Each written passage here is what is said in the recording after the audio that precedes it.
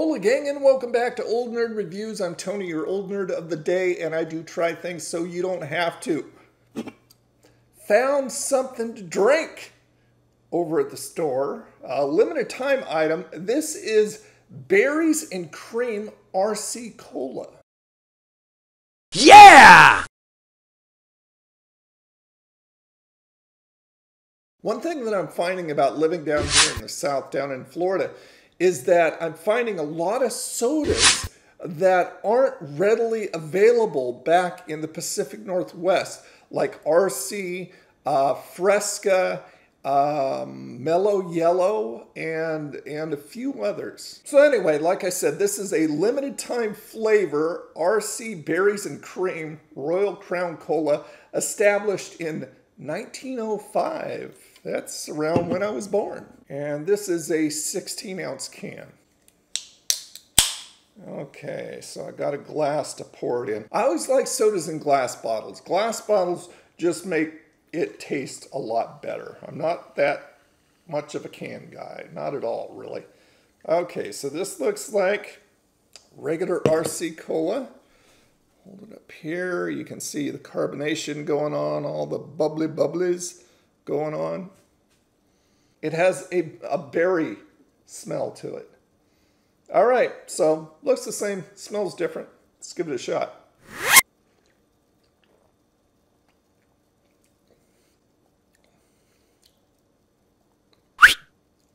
Do it again.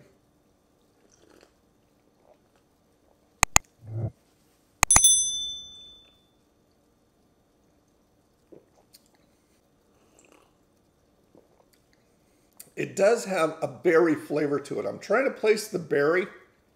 It's really hard to distinguish exactly what it is. And then it's got that cream soda type of thing going on. Um, I mean, like like any other cream soda flavored uh, soda pop. So unlike the marshmallow Coke, which was more of a fruit drink, this is actually a flavored cola, which I like better. If you've never had it, RC is it's less sweet than Pepsi, and it doesn't have the the, the punch, the harshness of a Coke. So it's it's definitely its own animal here. And RC was something that I grew up on back when I used to visit my relatives in Idaho. That's pretty much all they drank was RC Cola.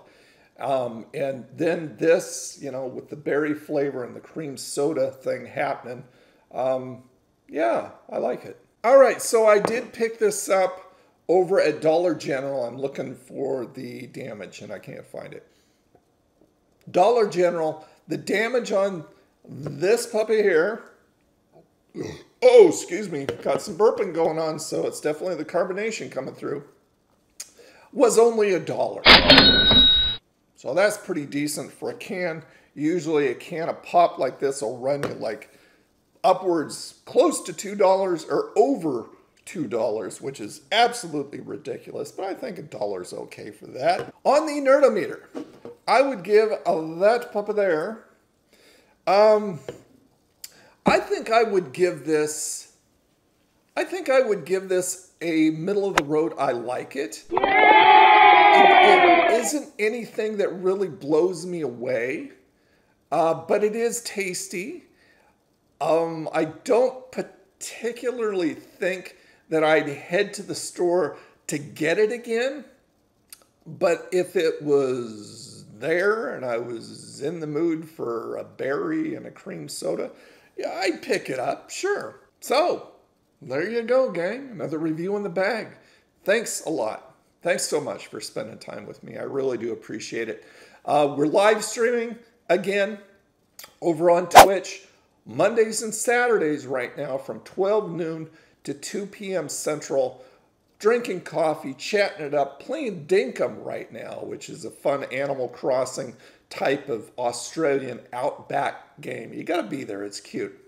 Anyway, love to have you over there. Um, and all the groovy nerdy links are down below in the description. So if you want to check those out, that's great. And if you do all that, you too can become a part of the Berries and Cream RC old nerd crony community. Okay, you guys have a freaking awesome day, and I'll talk to you again. Bye now.